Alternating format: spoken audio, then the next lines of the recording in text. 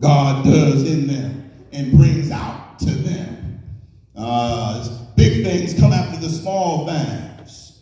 We, you, very seldom do you just get right to great things. But, but you start off with small things and you work your way up to, to big things. And so we be appreciative of the season that we're in, even though it's small, it's powerful. Preach.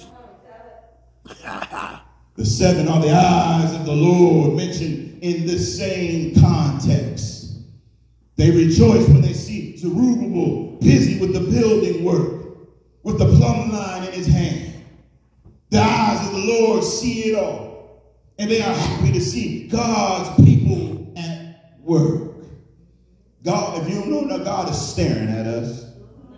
I, I know we don't like when people, what, what you staring at? We don't like when folks stare at us. we want to know what they're looking at us so hard for. But, but God is staring at, at each and every, every one of us.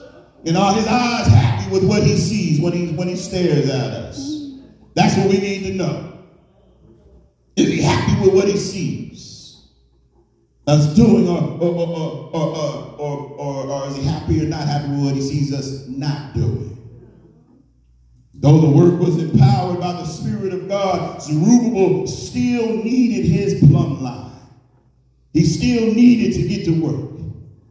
God could have given Zerubbabel a shortcut and instantly, miraculously finished the work. That isn't God's way of doing things because his work in the life of Zerubbabel was a, a, a, as important to him as his work through Zerubbabel. The work in you is just as important as the work he's going to do through. God wants to do some work in you and and he wants to do some work through you. You see, but before he can do work through us, he's got to do some work in us. And when the inward work is done, then he can do the through work. How can he use us to, to, to reach the lost if we still got some reaching inside we need to do? How can he use us to be a light in the community if we still in darkness ourselves? And so he's got to do some inward working in us, and then he'll do some throughward working through us.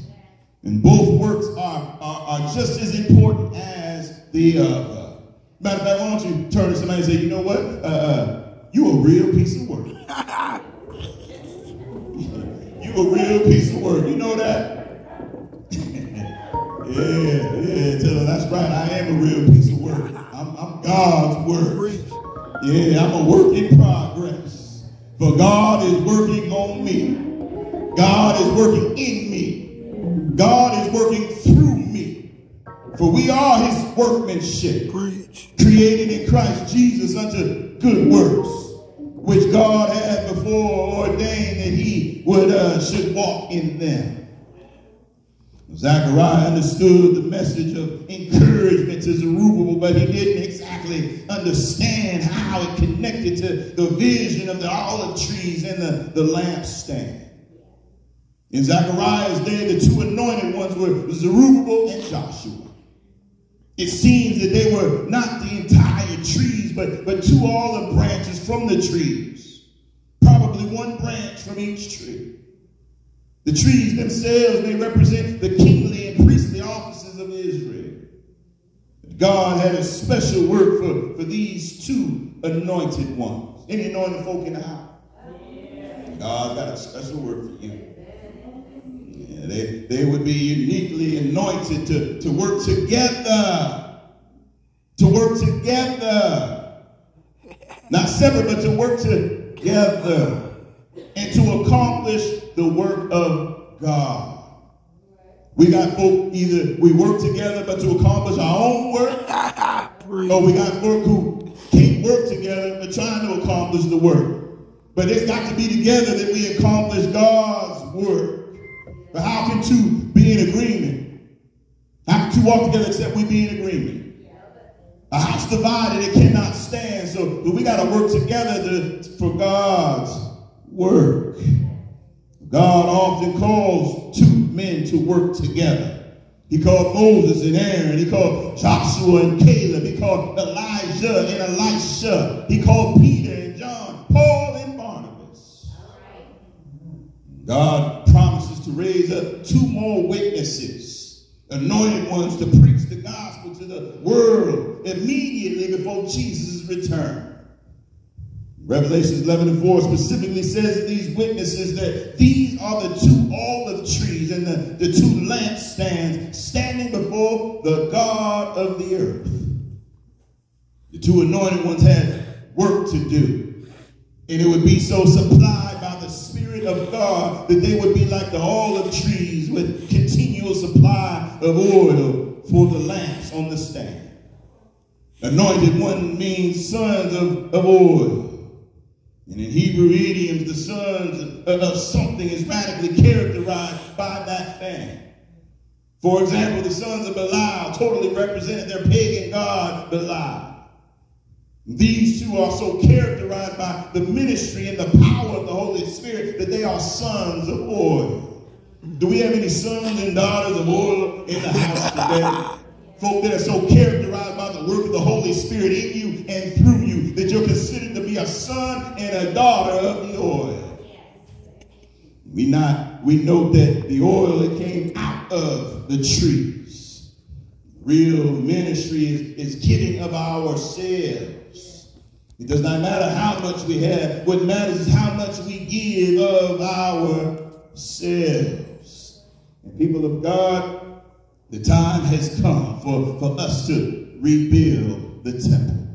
The temple has been in ruins for, for long enough. And, uh, the temple has been in shambles for long enough. And we've been questioning when. And I come by to let you know that the time is now. Uh, we've been questioning if. And the answer is yes. We've been questioning how. And the answer is by my spirit, says the Lord. Uh, when is now? If yes, and how is by my spirit, says the Lord.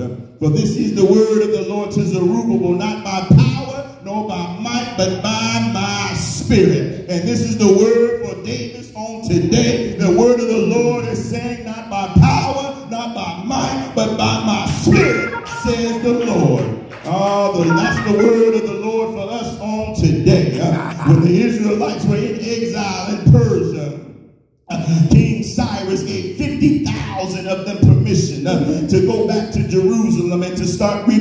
rebuilding the temple uh, under the leadership of Zerubbabel, who was the governor of Jerusalem. Uh, we've been in exile for long enough, and now it is time for us uh, to go back to Jerusalem and start rebuilding the temple. The very thing that has held you up, the very thing that has had you in bondage, the very thing that has kept you bound, the very thing that has had a stronghold over you, to go back to Jerusalem. Uh, we have to go back and get some things right. We have to go back and reconcile severed relationships. We have to go back and forgive those that have wronged us. We have to go back and make amends with those who we mistreated. We have to go back to where we first met Jesus. I don't know what Jerusalem represents in your life, but whatever it is, you need to go back to it and begin to rebuild. It is time for us uh, to rebuild, uh, build again uh, that which has been damaged or destroyed.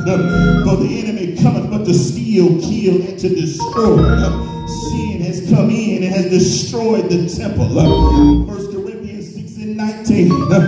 What know ye not? That your body is the temple of the Holy Ghost, which is in you, which of God, and ye are not of your own.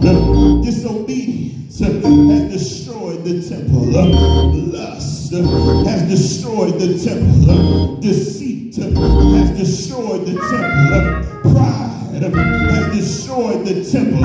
And so now it's time for us to rebuild the temple brick by brick, layer by layer, faith to faith, precept upon precept, line upon line, here a little and there a little. We have to rebuild the temple of God. We have to rebuild the walls of faith, the walls of obedience, the walls of prayer, and the walls of fasting. The enemy is going to try to stop us. He's going to try to discourage us. He's trying to make us quit, to give up and throw in the towel. But the word of the Lord has come today to encourage us. And this is the word,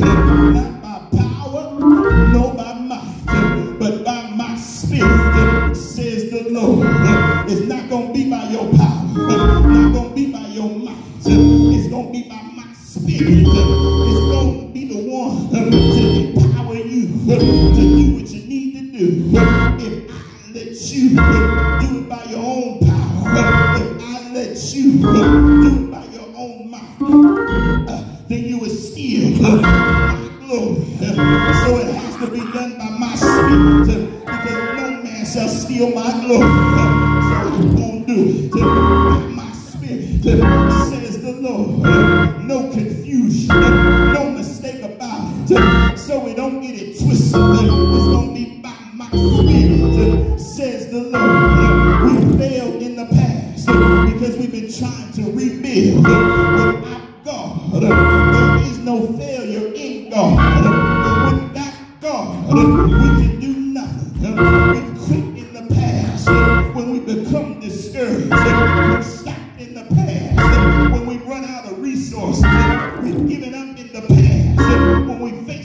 opposition. That's why we have to stay connected to God.